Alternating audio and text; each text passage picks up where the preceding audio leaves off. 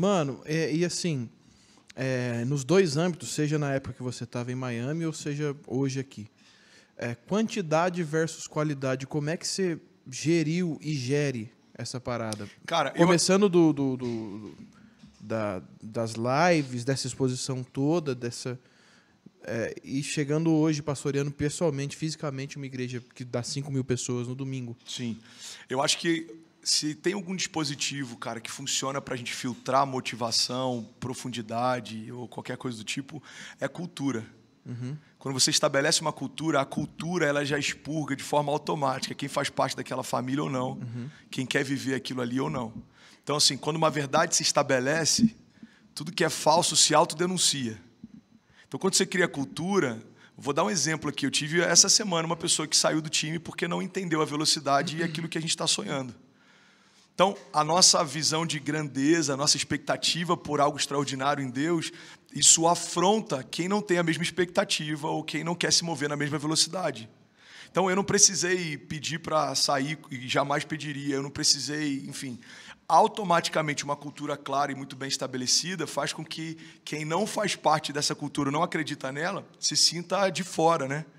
Então, ah, eu acho que muitas vezes a gente, a gente impediu um grande mover ou um movimento de Deus porque quis filtrar algo que não cabe a gente filtrar. Uhum. Então, como que eu posso filtrar quantidade versus qualidade? Não cabe a mim, até porque eu não consigo sondar o coração de ninguém, a motivação, a profundidade, a superficialidade. Então, o que, que eu acredito, cara? ah, quanto mais pessoas, melhor.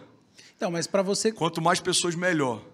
Para ouvir a mensagem, para terem uma experiência com Deus, para terem um contato com a presença de Deus. Agora, se você for pegar uma amostragem de cada 100 mil pessoas que tiverem essa experiência, quantas delas permanecem?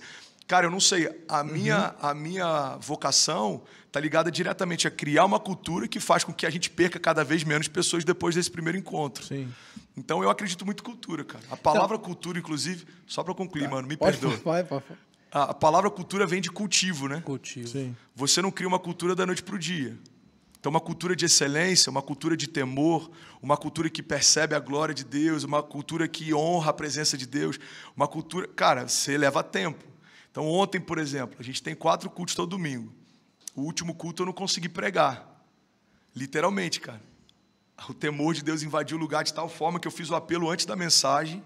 Depois do período de louvor, eu fiz o apelo, muita gente vindo à frente. Uma menina com muleta levantou a muleta, foi curada, manifestação, poder de Deus. Cara, a gente teve duas horas de culto sem pregação. Mas a gente teve manifestação de poder, a gente teve, sabe, a presença de Deus era palpável, a gente teve quebrantamento, muita gente chorando. E no final terminei convidando quem quisesse prostrar para que a gente pudesse ter um tempo junto ali. Então você tinha lá mil pessoas ajoelhadas, você teve gente curada e não teve um, um protocolo que se esperava nos, últimos, nos outros três cultos anteriores. Que cultura é essa? É uma cultura de temor. Quando Jesus entra no auditório, ele que manda para onde vai para onde ele quer uma cultura de expectativa. A gente crê que todo culto pode ser transformado de uma forma que a gente não sabe como termina, sabe uhum. como começa. Uma cultura de celebração, cara. Então, então, assim, dentro dessa cultura, talvez eu tenha perdido lá 100 pessoas que vão falar: ah, cara, que bagunça. Uhum. Eles não têm um protocolo. Sim. E é bom que essa pessoa, desde o início, saiba que talvez não seja a igreja para ela, porque. O que ela quer, né? Eu só vou frustrá-la um pouco mais tarde, entende? Uhum. Tem, uma, tem um, um conceito, cara, dentro de, de construção de startups, que é o Lean Startup Machine, que é você criar uma, um, um você cria um, um, sistema de construção de startups em que você erra mais rápido. E eles acreditam que quando você erra mais rápido, você consegue consertar essa hum. curva mais rápido. Já corta as arestas rápido. Cara, eu acho que uma cultura bem estabelecida e clara, ela faz com que as duas partes percam menos tempo. E eu não vou tentar convencer você de que é a sua casa, porque para você desde o início ficou claro que não é. Até porque você não vende o peixe de que existe uma perfeição ali, existe um aperfeiçoamento sendo é pregado. Isso. É isso. É por isso que eu acredito que famílias espirituais, é, nesse tempo, elas têm, elas têm crescido tanto, uhum.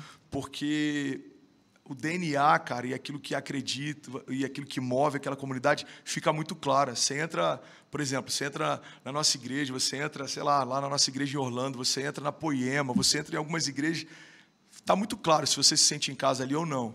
Eu acho que isso é bom, Sim. isso é saudável.